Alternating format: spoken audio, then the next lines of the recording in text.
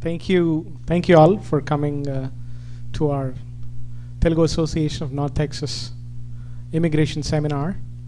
Um, we appreciate uh, you taking time on a Saturday afternoon and uh, coming. Uh, we have amidst Stars, uh, a very reputed attorney, uh, Miss Geeta Damanna. Uh, she's our coincidentally she's our uh, Tantex past president as well. And uh, we'd, we'd like to uh, extend our warm welcome um, before uh, she comes on onto the stage um, couple of uh, ground rules um, house rules as well. Um, if you don't mind if you can keep your cell phones on uh, on vibration or uh, mute we greatly appreciate. Um, no distractions while uh, we're actually having our seminar. To the benefit of the people who are watching live on uh, Desi Plaza Studios, uh, Desi Plaza TV, um, I'd like to, the whole seminar would be in English. Um, as much as we love to talk.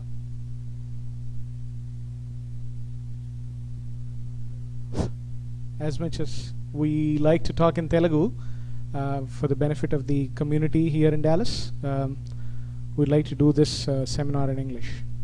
And um, um, what can we talk about uh, Ms. Geeta Damanna? Um, as I said, you know, she's been our uh, past president. Uh, it's very uh, fortunate for us to have worked, uh, to have been in association with uh, Ms. Geeta. Professionally, uh, she has over two decades, over 20 years of uh, experience in uh, in the field of uh, business law and specifically in the immigration law. Um, and through the years, she has gained that uh, experience, and uh, she has recently set up uh, her own attorney practice, law practice here in Dallas. It's called uh, Damanna Law Firm here in Dallas, and she's very active and socially as well. Uh, we we see her uh, socially around, but uh, as I said, uh, she's been practicing law, um, and uh, over two year two decades of experience, and she's a member of uh, State Bar of Texas. She's also a member of the Bar Council of Andhra Pradesh back in India, and she's also a member of American Immigration Lawyers Association and the uh, member of uh, American Women Women's Law uh, Lawyers Association. So she's she's got a lot of memberships, and as I said, she specializes in the in the field of immigration and business law. So, having said that, I would uh, like to call her onto stage. However, just uh, please bear in mind, we're only talking about uh, the the immigration recent developments. So please uh, um, please be kindful, uh, not being vocal uh, on on the recent uh, immigration changes. Um, um, not to say, you know, we have a president in place. He's been uh, elected democratically, so we cannot be critical about uh, his uh, his candidature or uh, his election. So whatever uh, he's done, he's still our president of this great country. So uh, your questions, um, I'd like to uh, request that these questions can be um, an interactive session once uh, Ms. Geeta actually covers the, the topics that we've discussed, right? Uh, we have broadly about four categories that uh, she's going to cover. One in one in the permanent residency uh, field, one about the uh, H H1 and F1 OPT, uh, the other one being uh, you know what's what's in the near future versus the midterm future, and the visa waiver program, uh, the waiver, uh, the call off of the visa waiver program. So after upon um, her you know covering all these topics, we would like to make this session interactive. You can uh, you can ask your questions and uh, kindly bear in mind that the questions should be more generic in nature. That way, the rest of the audience, rest of the people um, and who are all watching uh, via Desi Plaza Studios, uh, Desi Plaza TV, um, they stand to benefit out of these questions. Your question shouldn't be specifically about, uh, you know, this is my, um, this is my situation. How like, uh, how would I um, react, or how how should I continue uh, going about my case? If uh, your questions are specific, very specific in nature, uh, Ms. Geeta has been uh, kind enough. She mentioned that you know um, if the candidate uh, is uh, is in this um, is in this room, she can take the case outside, and then you can call her offices, and then you know she can consult on your case. But the, your question should be um, pretty much generic in nature. That way, the other candidates stand to be benefited. All right. Um, amidst us, we also have our uh, president of uh, Telugu Association of North Texas, uh, Mr. Krishna Reddy Uppalapati. We have our past president, we have a vice president, we have our uh, immediate past president, and we have few of our executive committee members as well. We'd like to thank yet again Ms. Geeta Damanna to sparing uh, she for sparing her valuable time and coming to um, to the studios to answer these questions. Uh, Ms. Geeta Damanna.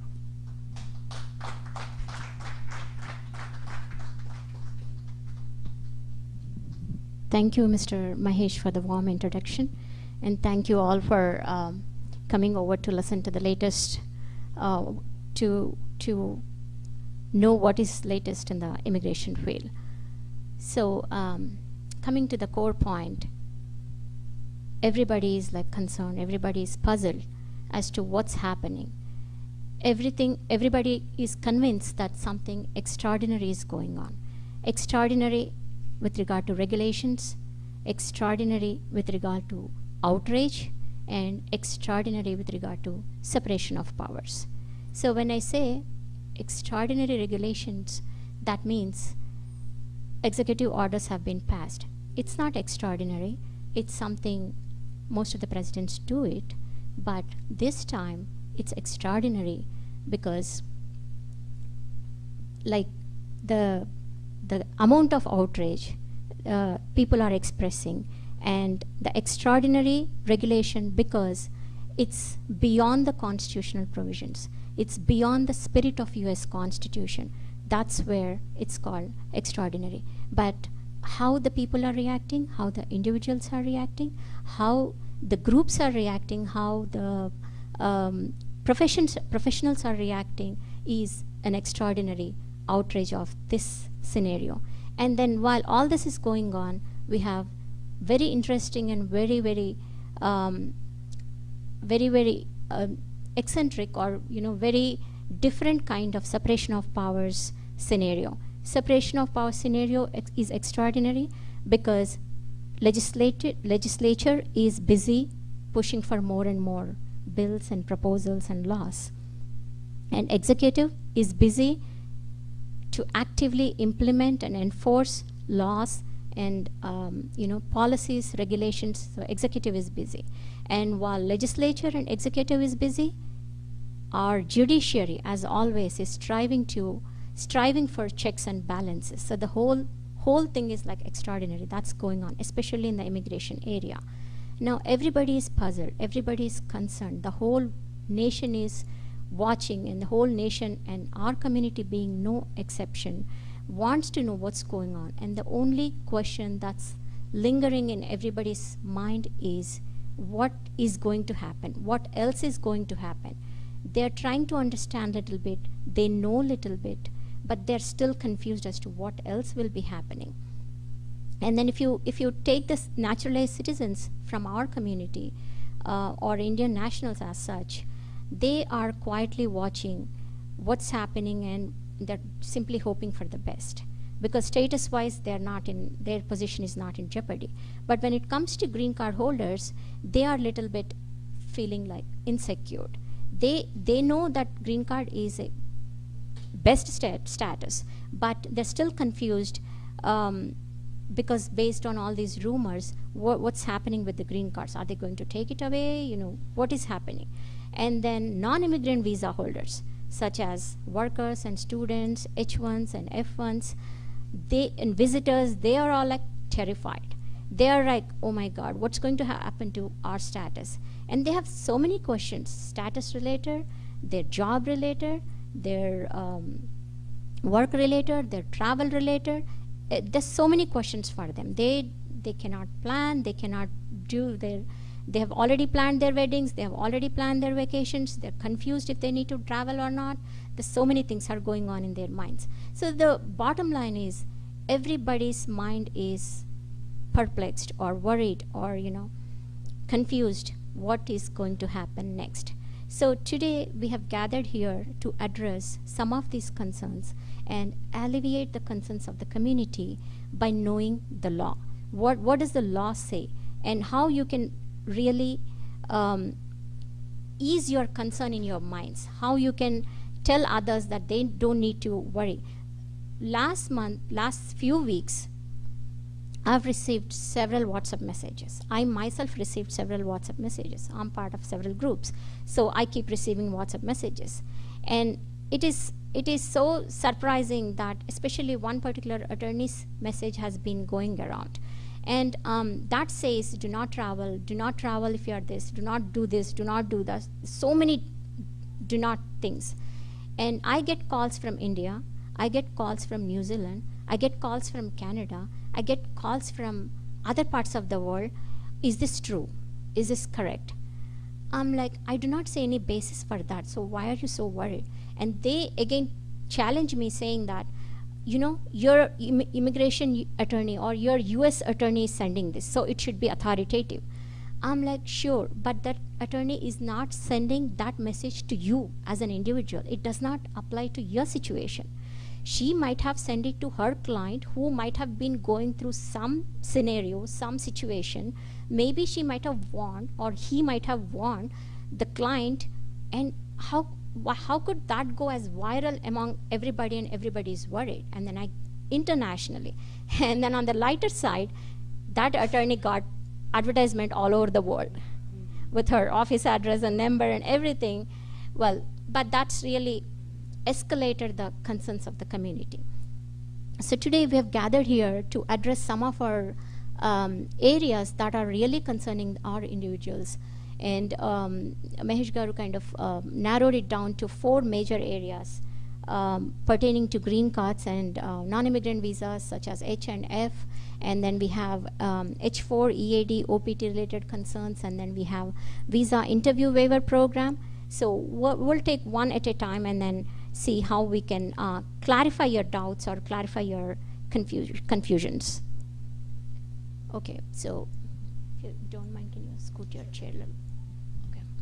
So with regard to green card holders, so even now I just got one question. So what's happening with green card holders? So with green card holders, nothing has changed. Everything remains same. So my sincere appeal to the entire community is do not panic. Just know the law and stay calm. You will be fine. So the, the whole confusion started with that executive order passed banning like individuals or nationals from seven countries. But even then, that order concerns about certain areas, not like um, everybody as such, like green card. There, a clarification came out that uh, it only pertains to few areas. So green card holders as such need not worry about anything when they are traveling, but as long as they've been maintaining their permanent residency status. So the the key question that I come across, or you know, even again, WhatsApp messages are talking about is, oh, you are forced to sign on something called 407 form, I-407 form, and um, you you're like giving up your green cards at the port of entry. So to to know is that true or false, it could be true, it could be false. So you have to understand what is I-407 form. It's abandonment of green card. So that form talks about when you can abandon your green card. So abandonment of green card can be done in two ways. One, while you are outside the US in your own home country and you decide in your mind, I do not want to maintain the permanent residency of uh, the United States. I just want to abandon this. Then voluntarily you can submit this I-407 form to the consulates and say, I do not want to maintain the permanent residency anymore. Even then, the revocation of your green card or your abandonment of your green card is not automatic. Even then, the consular officer will call you for an interview and explain you what are the benefits, what are the advantages, and what may happen if you abandon your green card. He will give you one more opportunity to, to decide. And then, if you still stick to your decision and say, I really want to abandon it, then he will give you a copy of the 407 and um, in, in future if somebody questions okay you are a green card holder and what happened then you will be able to explain that that i voluntarily abandoned it and then even then after that abandonment also you can still enter this country it's not like that abandonment of green card will not permanently shut the doors to us you can still come back to this country as a visitor or you can again apply for green card and then take it further. So it's not like permanently closed, even if you accidentally or intentionally abandon your status. The second way of doing that is at the port of entry. When you come back here, um, if you, you're a green card holder and then you've been traveling back and forth between countries, between the US and then your home country, and you're staying extended amount of time in the other countries, in your home country.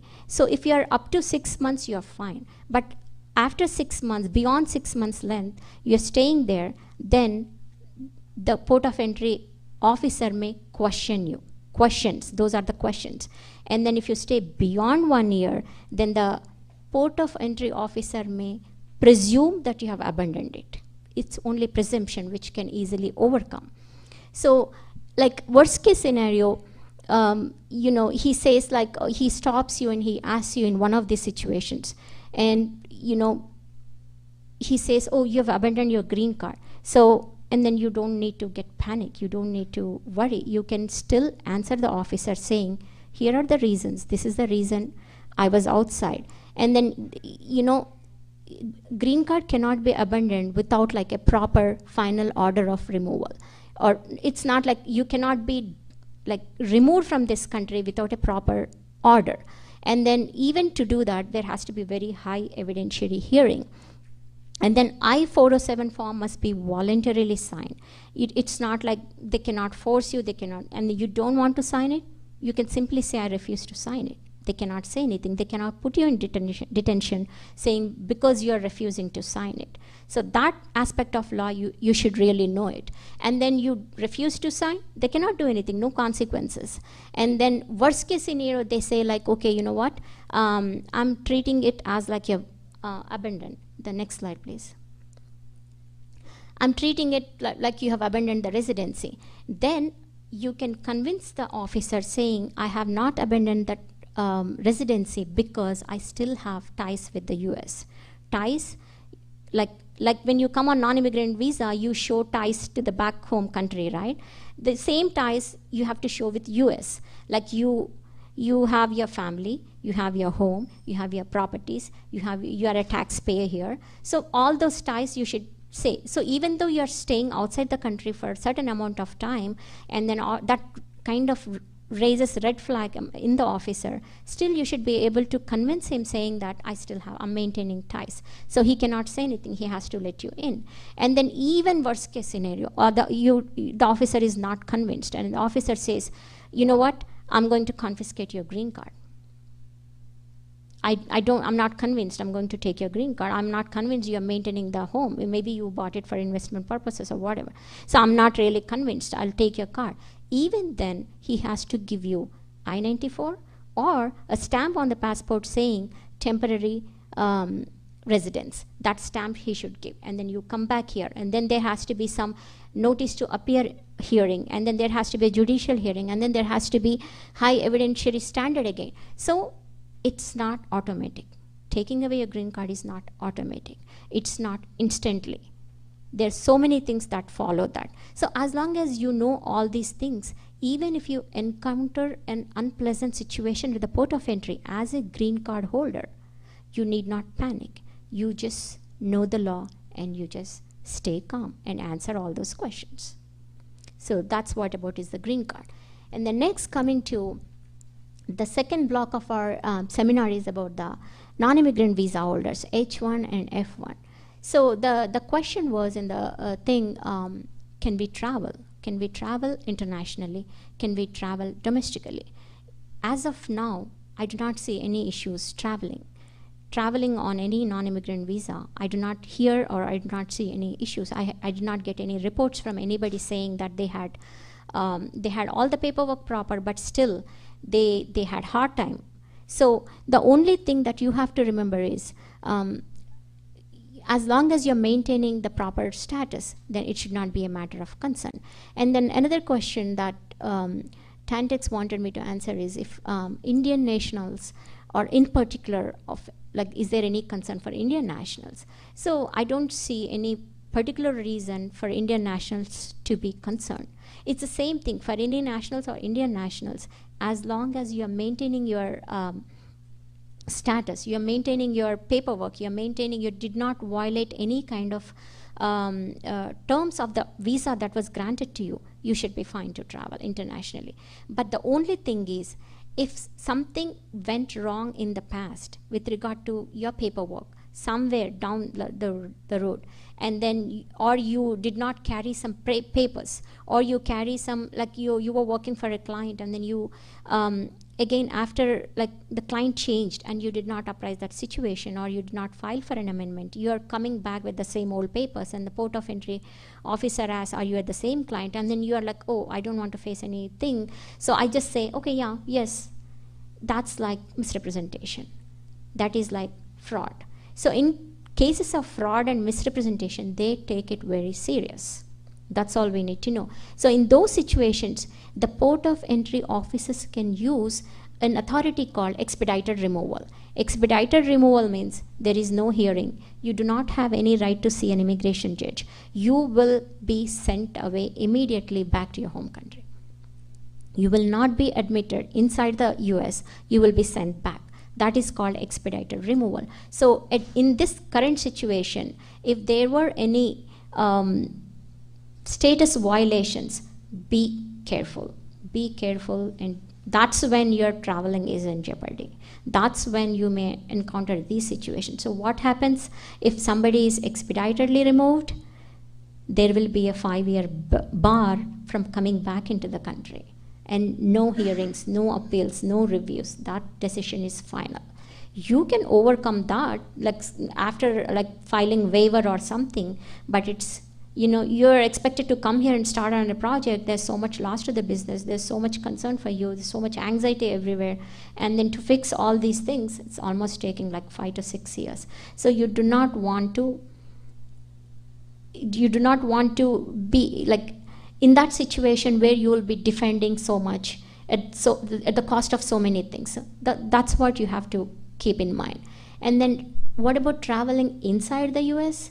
Absolutely no issues. As long as you have visa, as long as you have green card, as long as you have everything. The, the, I mean, we all have traveled. We have seen that there is no immigration check there is no immigration check at the domestic airports. You just show your ID, you just show your um, um, reservation. That's all is needed. So as long as you are maintaining the status and you're good to travel in between airports. And also, if you're on certain visa categories, you're also you can also travel to contiguous territories like you know Hawaii or Puerto Rico. So all those islands you will still have unless you know you're going to some other destination country and in between you're stopping there then you need visa. Otherwise you don't need any specific visa to go to those places as long as you have a valid status a valid visa to come into the US so with regard to traveling those are the things you have to keep in mind. And then coming to H4 EAD OPT candidates. So like the the previous set of questions and then this set of questions are um, basically because of a leaked executive order that's everybody is talking about. The, it is an unsigned and um, unconfirmed executive order. That means it does not have any validity. There is absolutely no validity. It is not even a proposal. It's nothing. It's just um, it may kind of situation but it's not. It's not signed. It's not authoritative or anything. But that thing has been like floating around. That is raising lot of concerns for the non-immigrant visa holders, especially one particular um, that unsigned executive order is um, unconfirmed unsigned executive order is talking about non-immigrant visas, like about the H-1Bs, about the F-1 OPTs, about the B-1s, about the L visas, and about the E visas, investor visas. It's talking about like several areas of non-immigrant visas. But if you look at the language of that particular uh, leaked executive order, it only says um, like you know they they want they would like to review into the program. They would like to get uh, more details about the program. They would like to um, analyze the situation. And then there are like three months time. There are like 120 days time like six months time like so it's only that. So as of now nothing is signed nothing is effective it's even if were, if it were to be considered still there will be so much more time to change the regulation or uh, modify the regulation or enhance the uh, implementation of regulation. So at this point, I will I would not be worried anything about those situations also. Now the question is, will the H1B and EAD program continue? Yeah, as of now, there's nothing that you know there's nothing that's really scaring everybody that these programs will be completely stopped no there may be like uh, revised or there may be additional things or they may be eased but again even like only if that were to be passed as an executive order and then it goes to the regular it, it, after the analysis and then after the bills are passed after the laws are passed only that's when we're we may see that situation. So that may take a year, two, so several months, and we don't know exactly what exact wording of that particular bill finally be. Like in the beginning, they may propose something, but after several discussions, it may get modified totally into a different thing. So it doesn't mean like everything is going to be changed drastically you will have enough time to see what it is expecting. And like now how we are complying with everything at that point of time also you will be complying with everything. So that's how it works. And then um, the next question is will a foreign national be prevented from entering on advance parole? Again advance parole, parole is also one of the aspects of that leaked order executive order um, that they want to like ban or remove all the uh, parole related uh, statuses. Again it's it's not like it's unsigned and unconfirmed uh, order so i wouldn't worry anything about it at this point of time. But one thing we all have to remember is advance parole even now is not a guaranteed admission. It is absolute discretion of the port of entry officer. So just because you are on 485 and then you want to travel, you cannot be confident saying that I have AP, I can go and come back. Yes, you can go and come back, but it's not guaranteed. Unless it's an emergency, unless you have to have to have to go, uh, don't try to take any chance. Uh, with advance parole. That's the only thing, caveat. That's all. I'm not scaring anyone. It's just caveat. Be cautious because it's not guaranteed. But if you're maintaining an underlying status such as non-immigrant visa along with the 485 pending, um, so you also have H1B stamping, then you're good to go and come back on H1B related paperwork. But advance parole is not guaranteed admis admission. But the, if the port of entry officer does not have any issues and then he lets you in, yeah, he lets you in. So that's why in the forum, a lot of people will be talking and then it's everybody's particular situation. It's not like a common or general order for everyone. Like, you know, I didn't have any issues at the port of entry. I'm on, I'm on uh, advance parole. And I smoothly came in. And then I post saying, like, absolutely no issues. Everybody can travel on AP. That's not true. Like, you know, and somebody else has 485 pending, somebody has advance parole, but somebody might have had some issues with H 1B in the past that were just investigated upon or something might have happened. And then officer caught on that and then you know i won't let you on advance parole. So and he posts like they're not letting people on advance parole. No one travel. That's not like a generalized statement. It uh, it applies to a particular individual to a particular situation. So what we read in the forum or what we get in the whatsapp messages is not like is not like final answer. It's not like a final um, final uh, situation of anything. So that's what you need to know. That, that's what you need to understand also. It, does not, it may not be applicable to your situation. And then, would this executive order impact OPT and CPT programs? Again, we're talking about the execute, so-called executive order, which is like a leaked version. It's unsigned and an unconfirmed order. In that, there is a little bit discussion about uh, OPT and CPT programs, mainly to protect the American jobs, mainly protect the American students. So again, it's just a recommendation. Again, it's just should we even do that kind of situation. So we don't know what's going to happen with that program yet. As of now, everything remains the same. So nothing, no particular concern need be there. And then the fourth block that um, we're going to cover today is visa interview waiver and then um, uh, pertaining to H1, F1 visas. So before I get into that topic, we need to understand what is visa interview waiver program and what is visa waiver program. So it's very easy to get confused between those two. Visa waiver program is a program given to about 38 countries that can come into United States without a visa. They can stay in the country for 90 days. A lot of European con- countries and then a lot of like New Zealand, Australia, all those people, ca- Canada, they can come into this country on visa waiver program, and for 90 days they can stay, visit, do a small business, and then leave. They don't need to go to the consulate. They don't need to get the visa interviews. They don't need to get the visa. So that's their uh, facility but visa interview waiver program is something also called a dropbox program. That means repeated travelers they keep coming into the country. They do not need to go attend the visa interview as long as paperwork is intact as long as they, they nothing changed from previous visa. So within one year of time they can just put all the paperwork together and then put it in something called dropbox program. And um, they can get the visas so that's like saving their time they can plan well ahead with the trips and then all that's the advantage of that visa interview waiver program. So, with the new executive order, that program has been suspended. So, what does that mean? That means now you cannot drop your documents in the Dropbox program. You will have to attend the interview in person at the consulate. So, what does that mean again? You have to the attend the interview means time, delay, and then because consular consulates are overwhelmed with like so much work, there may be left and right you know 221 gs or refusal uh, refusal of your visa or denials or ask for more paperwork.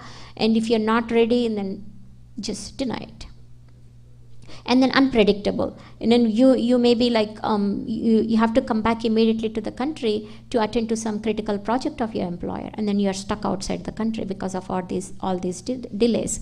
So that's what is going to happen um, if visa waiver uh, visa interview waiver program is suspended. But the the the current situation i mean the consulates are saying that it's still operational. We haven't received any like particular report saying it's totally suspended and then people are not able to do that. At least until February first week, it is working operational like before. So we didn't see drastic effect on that yet unless somebody comes forward and reports on that. So um, again, visa waiver program uh, that is applicable to 38 other countries, there is no effect. It's continuing as always. So these are the um, these are the uh, areas that we don't need to be concerned. We need to be little bit aware of how the situation works and then what is my particular situation and then take it from there. You should be fine. And okay, so like with all these things like some are like um, already in and some are like hypothetical and then some are like particular uh, pertaining to your particular situation with all these things and then current immigration scenario what else is going to happen like what can we anticipate more and more legal battles like ninth circuit in their like um, per curiam order did like put hold on that travel ban right so but the government may take it to the, further to the Supreme Court. And then Supreme Court we don't know. Like so, or there may be another set of completely new cases or new filings um, in some other cir- circuits, like Fifth Circuit, which is more conservative circuit. Uh, so that may happen. So legal battles will continue as long as like there is no like consensus then legal battles will continue and at the most you know um, president may exercise his executive authority and then at the most he may pass another set of executive order or something with a different wording because this time it may be careful not getting into constitutional provisions or constitutional spirit and then word it carefully so that may happen we don't know yet but that could happen also and then but either way, border enforcement will be very, that can be anticipated. That's like heightened security, and then, um, uh, you know, like status related things, that can happen. So, border enforcement will continue to happen. But only thing that we as community we have to remember is we we do not do anything that will jeopardize our immigration status that's the critical thing that we all have to remember and then follow it. Absolutely no unauthorized employment. Absolutely, absolutely no unauthorized employment. If you are a student, just stay, do your, do your studies, stay in the campus, only work to the extent you are allowed to. Do not do anything else. It is not even worth. It, it will be too late if you just violate the status and then and then a lot of lot of people say that oh my friends did so what nothing happened to them oh you know it's okay it's common you know oh my parents took a lot of money so as debt i have to pay that debt you're not paying that debt with unauthorized employment. You are working hard. Complete your studies. Finish your courses. Get a nice job. Then pay off the debt. That's the proper way of thinking. Other than that do not risk anything. Do not do any unauthorized employments. And do not visitors parents or you know business visitors do not overstay on visas if you have to leave leave. The i-94 determines or dictates until which time you can stay in the country. So just follow the i-94 and then leave before that date if you have to stay here on in, for any reason any emergency or your business uh, proposal or business commitment extended then seek extensions. And the extension is denied, leave on time prom- promptly. But do not take a chance. Do not, oh, it's okay, one week is okay, one month is okay. Do not assume things. If it's not allowed, it's not allowed. Just stick to that.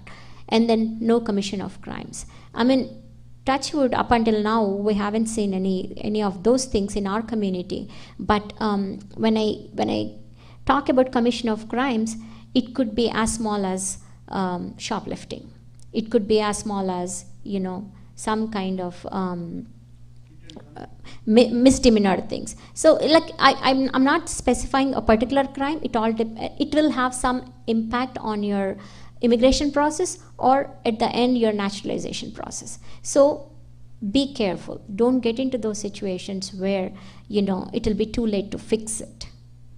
So, with all that, um, I mean, Again, my sincere appeal to the whole community is do not panic. Know the law and just stay calm. Everything will be fine. Thank you. I, I can take questions now. So I think uh, we'll, we'll take some questions. As I said, uh, you know, questions, if the questions can be uh, generic in nature, uh, greatly appreciate. That way, you know, we uh, the other candidates also stand to be benefit. Thank you. Nikesh. Hello, ma'am. All the information, uh, and I'll stay fresh to what you just said about Dropbox. A lot of you know H-1B candidates, uh, they are working for the same company for a long time, and uh, they probably have already gone to visa interviews and got the visas. Now, when it comes when it comes for extension, uh, generally you go for a Dropbox, you know, typically. So now, is it like you said, is it, still continuing, but you said that might stop. See, the executive order talked about it, but um, operationally it's still continuing. So I, I, have seen, I have gone into several um, consulate websites and they're not announcing that Dropbox program is like suspended, they're not taking any applications.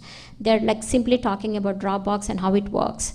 And I haven't heard anybody complaining that it's not gone. But if the program is suspended, then it could it could be implemented at any time. So that's all we need to be aware of.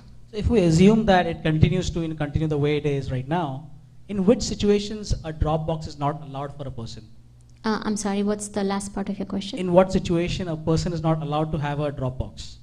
Even if he's been working for the same company for a while, he's going for a re. uh, He just. I mean, it's not like you're um, eligible to do it. It's, you're not eligible to do it. As long as the program continues, you can you uh, take advantage of it. If the program itself is not there, then everybody has to see the uh, interview officer. Then um, that's what you would follow. So it's not like your choice, or uh, it's a, it's not an option. It's like if the program is program continues, whoever is eligible, like um, repeated travelers, like you know you everything is same and nothing changed and then you just submit your paperwork it's convenience it's like you can plan well ahead like one year before you can drop off those things so that that's the advantage. Otherwise if the program itself is not there then the standard traditional way of going to the interview setting up time and then you know there will be long lines and then the whole consulate calendar is booked and then you have to wait for months and months to set take a date and then something were to happen again you will be asked to wait and then you have to resubmit the papers so you're stuck outside the country. So all those things will happen. So those delays. Thank you. all right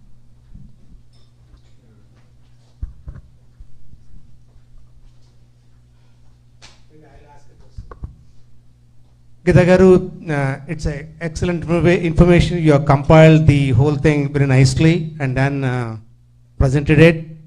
Of course, I'm a citizen of USA, so I don't have that many problems. But I do have one concern is what many people when they go travel, they say that because of our look, because of the accent, there could be a, some kind of harassment for some time to prove that you are what So what, what are the documents you suggest one should carry when they travel domestically or internationally? Let us say I'm a citizen, but still, what are the documents you list of documents so that a, a, a list, quick list, okay, you're a H1 holder, carry these documents.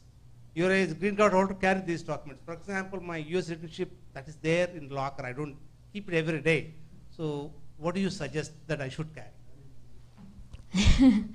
yeah and that's actually a very good question. Um, yes you need when you travel and then you're on a particular visa you definitely need to carry um, documents that support that you you are on a valid status. So that will avoid some time um, at the port of entry like uh, you know unnecessarily officer is confused and you don't have proper documents you don't want to get into that situation. So as a citizen um, yeah i mean the only way you prove your citizenship is like your uh, us passport that you will have anyways when you travel. That's like that's the document that's critical even to travel. So if you show that that means you are a citizen. And then um, naturalization certificate that's another way of i mean you don't need to carry i know you put it in the locker somewhere but you know just a copy just to you know tell them like you know i am a naturalized citizen but us passport itself is suffice. Other visa holders like non-immigrant visa holders and then um, the depends if you are a H traveler, you're a H1B work traveler, then you have to have your I-797 approval, and then you have to have your last I-94. You have to have your latest pay stubs. If you are at a client site, um, you have to have you know that employment verification letter. So those linked documents. I know it's like pretty much carrying your entire copy of H1B with latest pay stubs and then latest employment verification letter saying that you're still on board as of like that day you're still on board with them because you know anything could happen in 48 hours or 24 hours before that. So those are the documents you you carry. But if you're a student you're a student you carry like i-20 you carry um, again i-94 you carry your passport stamping so all those documents as F1 visa holder. So like whatever like your visa status is, like you're business vis- visitor, then the purpose, that how, how long are you here? Are you here for training? Are you here for some other business conferences or meeting or you know your exhibits or exhibitions or what is the purpose of your that purpose related documents you have to carry besides like your passport I-94 they're they're like standard for everyone and then um, same thing like B2 visitors, like where they're going, the, the parents are coming, like their status, and then where they're going, where they'll be living. That information, at least, you know, they cannot simply stand there and say, We can't speak English, we don't know anything. At least, you know, you as children, make sure that your parents are carrying all that information give them sufficient copies and, and, and, most importantly all these documents cannot be electronically saved and then tell the officer oh they are in my phone oh you know my phone battery died. Oh you know what? I put all the all those safely in an envelope but i checked in. I che- it's in checked in luggage. Those are the answers that will not take you anywhere that will land you into further trouble. So all those must be your carry on take some other personal stuff off of your carry on but the documents are extremely important. Yes you can have electronic copies in your laptop or uh, on your laptop or on your um, phone but the officer will not be will not have enough time to you know swipe through that and then look at the documents. He will be looking at the key things and then even if you have a copy of your 797 if on the validity dates you highlight it you highlight your name, you highlight your validity dates. That's the thing that officer will be looking at. You know, the, the, the Xerox copy is like faded and then the print is not and then you're telling see that, that's my name that's my name. You don't try to convince anything that they will not have any time over there. They will have thousands of passengers passing through the airports and they get restless. They get annoyed with our behavior so just be on top of those things. When you travel have a checklist and that's the first thing that you will be packing. Don't worry about the pickles. Don't worry about the, uh, gro- the groceries. Don't worry about any other things. First worry about those documents. That will save you. But uh, madam uh, uh, see, for example if you have a driving license generally they can scan it. Probably they would be able to get all the history isn't it? So probably would that be enough? Because see any. I mean, it could be in some circumstances. If the officer is convinced and he's not seeing any red flags in your profile while scanning that or while checking at your whole thing, he's okay. But if so, there is there is something that you have valid driver's license, but your um, you your project lasted like a month ago two months ago. Right now you don't have a project but you are carrying that i797 saying i have validity till 2018 or 2019 so everything is fine but then officer already knows that you're out of project for one or two months because because of the information. Now he doesn't say that to you. He will he wants to hear that from you. And he says okay so oh okay yeah so where are you going? I'm going to my work. Oh where's your client? And oh client is like xyz in some city. Oh okay then you know he'll get all that information from it does not mean he's not seeing it there. You see? And just to ask about their status. Okay what's your status right now? And sure. nobody really carries any identification when they are walking around. Maybe guys can because we have a wallet. We carry at least our ids you know the state id so do we have to still carry something for locally?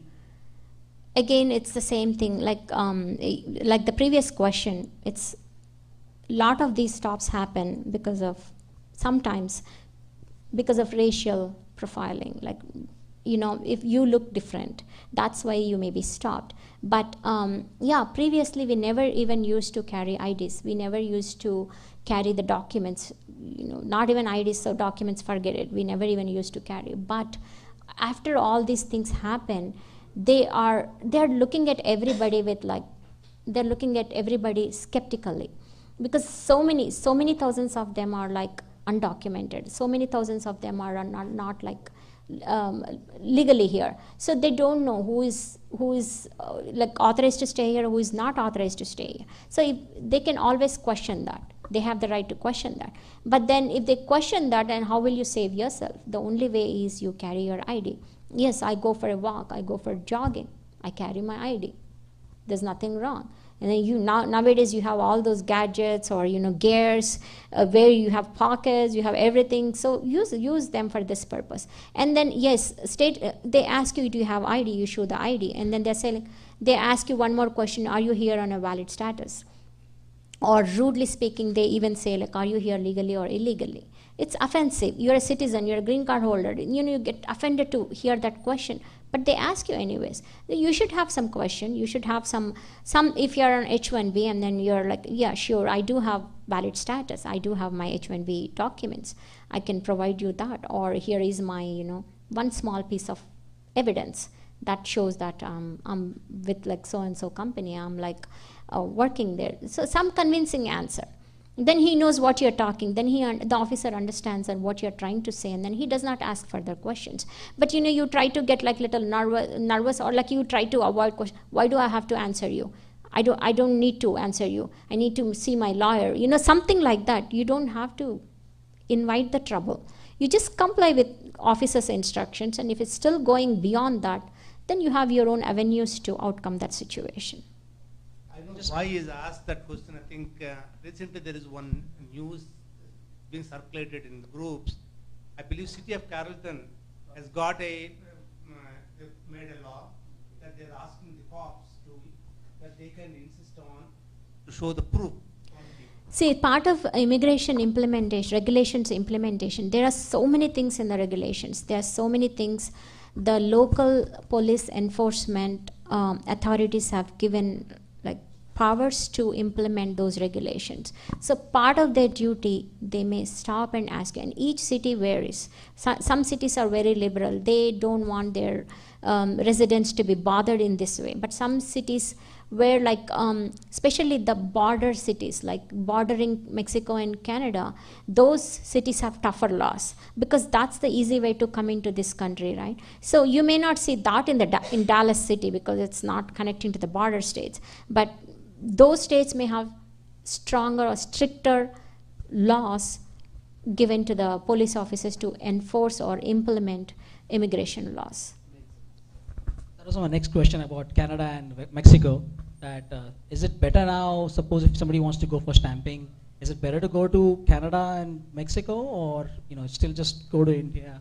Going to uh, Mexico or Canada for stamping purposes is always um, is always like secondary option. I would say going to your home country is always better. If it is like second time, third time, and you want to take a chance, you can take a chance and go there, provided those consulates allow it. Sometimes they allow it, sometimes they don't allow it. So you have to ask them before are they allowing it. And then the only caveat you have to um, understand is like the only caveat is um, you go there and something were to happen, you get stuck there. Sometimes you may be paroled into this country for one week or 10 days to, you know, resolve things or pack up your stuff and leave, but you're risking a lot. If you're in your home country, at least, you know, sitting there, you can fix the issue. So that's why it's always recommended to go to um, home country consulates. But again, like um, if they allow and then you want to take a chance, you can always go to Mexico and um, and again, you know, a lot of times practical experiences uh, people share. Okay, Ottawa is liberal, and then Quebec is liberal, or you know, they say like Toronto is more liberal, or you know, Mexico Mexican consulates are very tough these days. So based on that, people make calls and then go there. So, but there is no particular recommendation. You must go here. You must go. Must not go there. Kind of. There's no such recommendation um, that we can give at this point of time. I have. Go ahead, somebody Okay, here is another gentleman who would like to ask a question. United States, you carry three documents. Number one, if you're citizen, if you're citizen, you carry the passport. If you're a green card holder, keep the green card. Number two, you carry your ID, state ID Third one, carry your uh, credit card, debit card, but don't use it unless it is necessary. Do, do you have any particular reason for carrying credit cards and debit cards? Yeah, credit card, if you, if there is any emergency like medical, other situations come in, nobody will come and pay you. Sure. So that will be one. It's like ge- So- well prepared for the travel. Whatever it may, be, get prepared, but you Sure. don't spend it. Sure. And then, number two, even if you are a United States citizen, you'll be asked your ID. It is a right to ask. Question is, most of the Indians, because of the accent difference and communication problem, the police officer, he doesn't understand when, uh, what you are telling. then you will ask your ID. It happens. If you can't answer, then they will think you, you are illegally. Correct. You show your ID. So try to carry your ID even in the United States. So that will, uh, so it is a rule, federal rule, must have your ID. Do you have any? I can go ahead with your. uh, Thank you. Uh, This is again H-1B related. I think some of the bills, uh, of course, you said nothing has been passed, nothing to really worry about. But uh, since the emphasis is so much on the IT IT industry, you know, he keeps talking about, the president keeps talking about, okay, the industry is being, there's so many immigrants are coming in and it's being uh, not utilized correctly. We're pretty sure that something's probably going to happen with the H1. Now, that, uh, considering that we don't know what are the specifics in the bill, people just know general stuff. I mean, I know the general stuff. Is there anything specific that it's going to be implemented on H1 but only to a particular field area or is it going to be generalized? And if it's applied, would it be for the people who are going to be like on new H1B? What about the people who are already on H1B?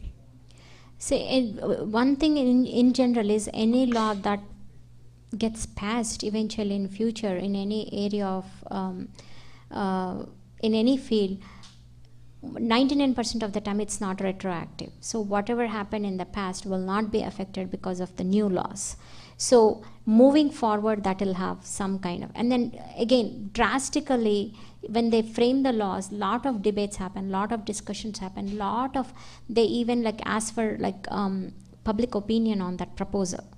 And then lot of like look they ask for opinion and then we may not respond to that kind of proposals but there are groups like you know immigration related groups there are uh, legislative groups there are several other groups those groups like that lobby so much for or against that bill respond to those questions. And then base, after taking the input of all these people that's when a law passes and then law like it has to go through its own legislative hearings and then uh, you know voting and all that. After that when it gets passed that's when it it becomes law. So 99% of the time it's never retroactive. It's moving forward. And then to answer your question any particular field will be affected or any particular thing will be affected? Don't know.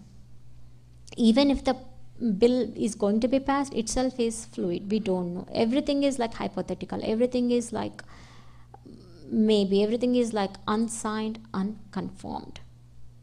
So i wouldn't worry uh, thinking about all those things. I would worry about the current situation what i need to do to maintain my status and then what i need to do not to violate my status those are the only things i would be worried about guess the time is a factor right now because like considering H1B, you know, like April, like the March 31st is basically the last day when people are applying for H1Bs.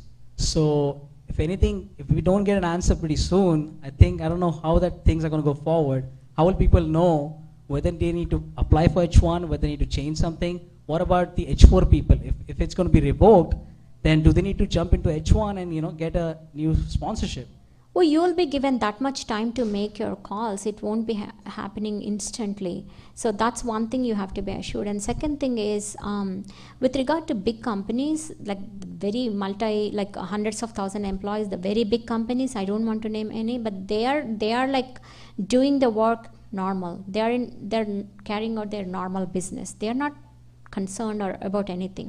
The only small consulting companies or you know small like um, staffing companies all those are little bit like um, watching out what's going to happen. They're not doing aggressively but otherwise rest of the it industry is like doing normally. At the end of this month um, some of the top-notch companies are meeting the president like um, so maybe they will suggest something maybe they'll request for something or maybe president will listen to them. So something like that i mean it came in the newspapers. We, we don't have any first-hand information on that. But after that may, there may be slightly some update or maybe status quo remains as it is. Maybe that's when the heavy h1b filing gears up. We don't know. But people who have decided to file it they're getting ready normal. They're they're just doing their, their projects there's work. And as of now the regulation remains same.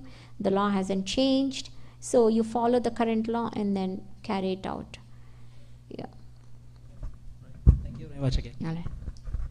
Anyone else has any questions? Venugaru?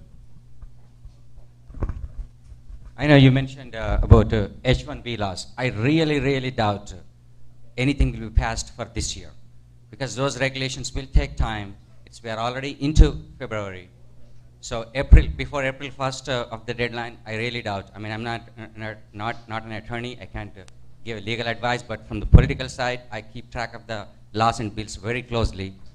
Those laws, those introduced in the uh, Senate Immigration Committee and Judiciary Committees, all the time. This is not the first time, and uh, most of the time they don't even make it to the floor for voting.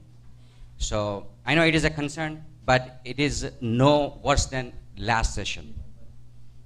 That is true. Like lot of bills and pr- proposals come into picture with so many, so many variations, so many variations. But hardly they become laws. Hardly they get like, remotest possibility of those getting laws. Even if they become law, eventually down the road, but it will be drastically modified into something totally different. So I, I wouldn't worry like overnight thinking that oh something sky is going to fall tomorrow kind of. I wouldn't worry. Garu has a question.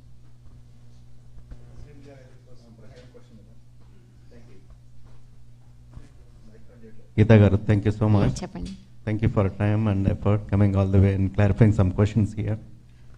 Um, based on my news voice, I mean news I heard and news I read, the President Trump ordered executive orders only related to seven countries, nothing about India particularly. Yes. In fact, in one of the news, he said, I'm not going to do anything to India India is welcome.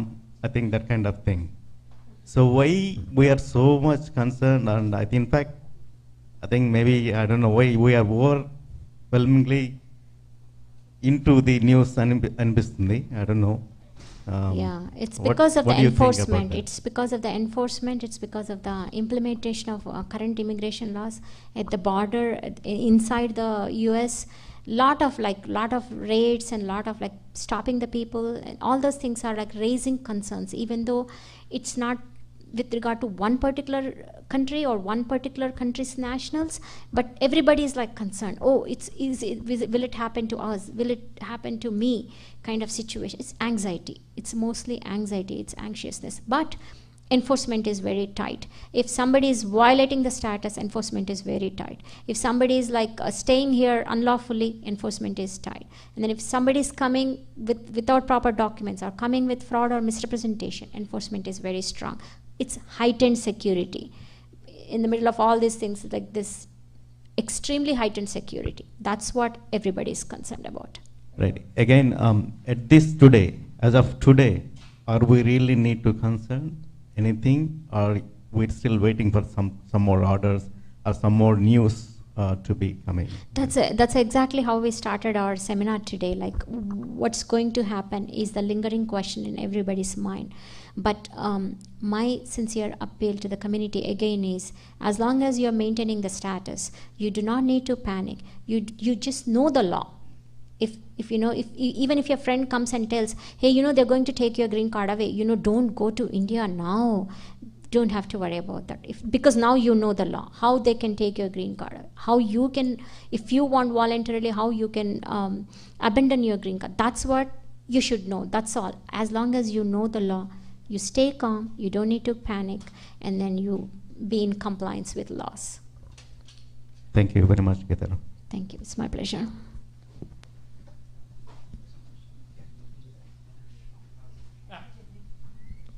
Well, I would like to add one more thing, uh, Geeta garu.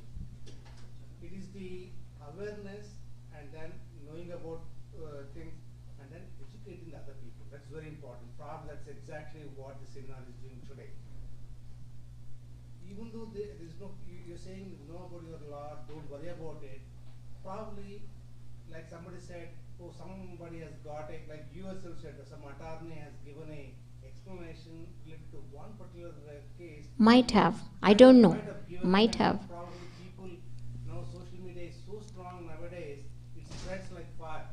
The, the social media is not strong. It's the people who are like they receive the message and instantly they send it to 10 uh, groups. Why do they have to do that? Like just take some time. You, you we all spend so much time on uh, on the internet like researching so many things. So before you forwarding what is this amendment of green card? How, can it happen? Let me do some research. And then you know don't forward that but you get educated. Then it's not spreaded to 10 other groups and then 100 more people right? It's it's like that. I don't know. It's like reflective you see some message you see don't use paracetamol 500 mg it has bad effects and then it goes like to everyone why that that you have to have control within yourself That's what I'm trying Yeah. to say. Yeah. One thing is finding about information is one thing. Second thing is proper controlling and while mediating Exactly. information to the rest of the proper information. Exactly. And I really commend um, TANTEX uh, coming forward and then ar- arranging these kind of seminars where um, the community gets benefited. Um, I really encourage them to keep doing this more and more uh, in different areas and then different uh, for different uh, groups of um, people who can benefit out of this also. Is there any uh, kind of a live forum of uh, ILA or somewhere where people can, get a post here, if they post there, probably uh, information can come there and can spread.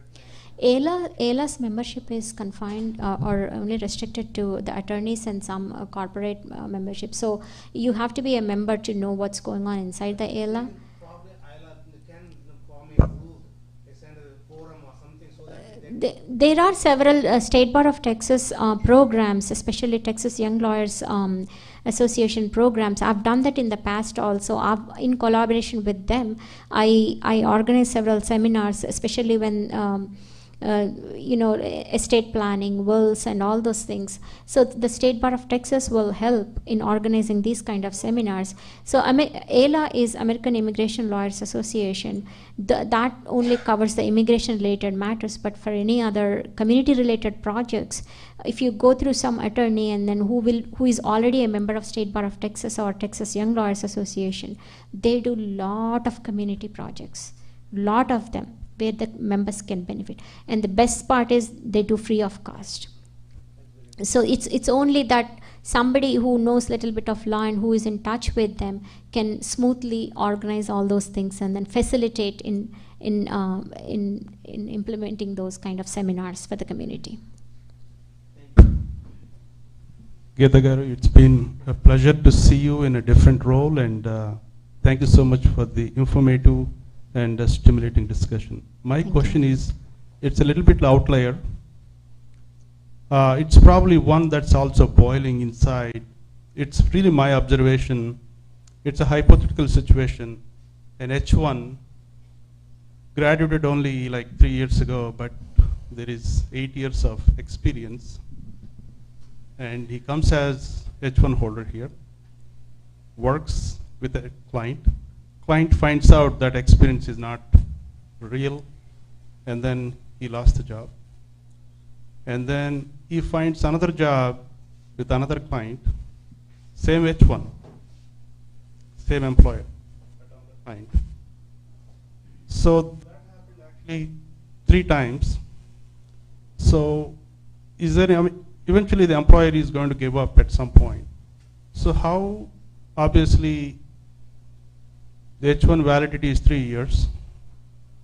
Is there any jeopardy for losing the status for this employee who seemed to be misrepresented his experience? What are some of the legal implications for the employers and the employee? Thank you. Wow, we have to do a separate seminar on exclusively H1B. so, um, yeah, status jeopardy is always there for H1B workers. H1B workers having or maintaining their status is like having an, an oxygen cylinder by you. Like um, you, you, you say like okay you know what i don't need oxygen but i'll be doing something else that means i don't want to breathe but i want to be alive so that kind of importance that kind of critical thing that you have to have h1b validity and when it can can be violated how it can be violated is entirely a different scenario but um, Your question is like a person extending for several years?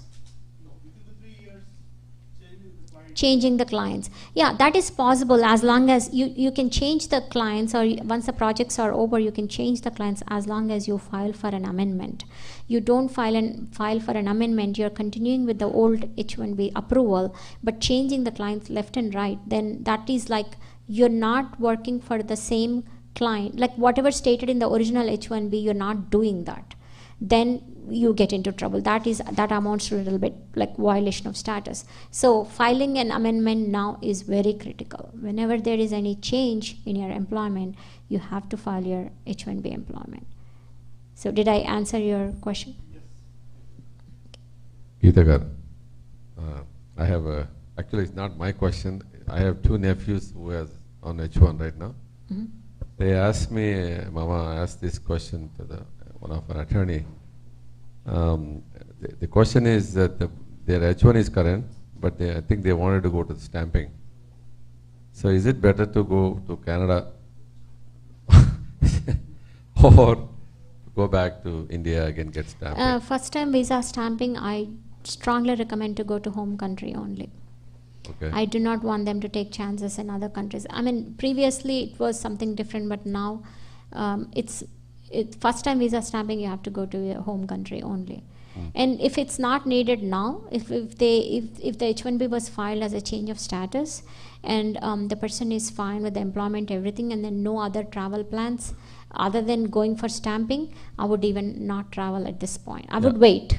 Yeah, the, because there is, I mean, her grandfather is kind of a little bit sick, so if I, she has to go. Yeah. So, you know, so they're in a dilemma. If I go there because of what's going on right now, even though it's not affected That's uh, that's a mm, call that that particular individual has to make because um, uh, if everything is okay, like employers employer has some kind of product development going on, and then that's how the H1B was filed, and everything is fine, Mm. then okay, you can face the consular interview and take all the relevant paperwork. You're fine. But if the if the H1B is based on end client and it's the same end client and everything is fine, all the middle tier and everything is linked documents are proper, then you can still go also for the stamping. But if anything is missing and anything has changed since you filed your H1B, that means um, going for visa interview is like a little bit um, risking it. it doesn't matter whether in Canada or India, with all this, what you're saying. First time stamping, you, you will have to go to the um, um, home country consulate. Um, but, uh, you know, these trends, as I was answering um, uh, the other question, these trends keep changing depending on the other consulates are letting you come or not. If Canada is not even letting any other people to come for stampings, then you don't even have that choice. Oh. So you have to find out from the consulate and you have to um, know the situation now that's we are in a current situation based on that and then also your paperwork i i did not file the um, h1b so i don't know the I paperwork so uh, based on like the paperwork um, strength you you have to make a call Okay, thanks. Anyone else uh, has any questions or? I have a couple of uh, closing comments to make uh, with permission of uh, Ms. Geeta. Uh, thank you so much, Geeta Garu, uh, for coming. Um, I would, uh, I would say uh, Geeta Garu would uh, agree that uh, the rules, policies, and uh, procedures uh, of this of this country, the immigration policies, have always been there. It's just that you know we are uh, they are probably more pre- prevalent, or they have been put into practice all the more since the new adminis- uh, since the new administration have uh, has taken over. Um, you know the the bordering patrol officers or whosoever it be, I think they have become more active, um, or you know with all these. um that's limited to these specific seven countries. The other countries have probably gone into a panic mode, and uh, partially uh, the media has been biased to this new administration. And with the social media becoming super active, I think uh, that's probably causing a, a little more concern among the uh, the non-immigrants, the immigrants whosoever it be. So I think, uh, as Geeta Garu has uh, rightly suggested, maintaining or preserving your status, uh, the rightly, uh, the rightful status, without overstaying or without going into a non-status, is the only thing that we need to do without getting into a panic mode. You know, we have our own rights. Uh, if we can do the the thing that is right uh, and that does not harm this country or unlawful presence or anything, uh, we are doing our part. So I think, uh, as as uh, she has said, no need to get panicked. And if you are doing the, if you are preserving the right status, I think uh, that's more than enough. Having said that, thank you once again, Andy. And uh,